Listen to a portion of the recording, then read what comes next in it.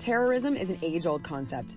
Some people think the first attack happened in the first century, against Roman collaborators. Modern terrorism is thought to come out of mid-19th century France when good quality, affordable explosives hit the market.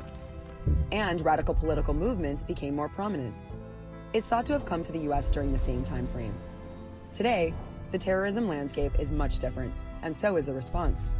The FBI says its number one priority is protecting the U.S. from terrorist attacks, regardless of motivation.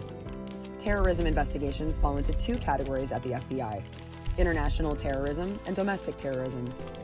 The first is when an attack is inspired by, or associated with, foreign organizations or nations. If the attack or attacks are meant to further a domestic influence's goals, it's domestic terror.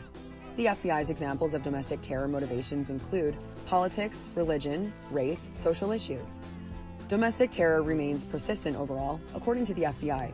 It says people cross the line from exercising First Amendment freedoms to committing crimes in hopes of furthering violent agendas.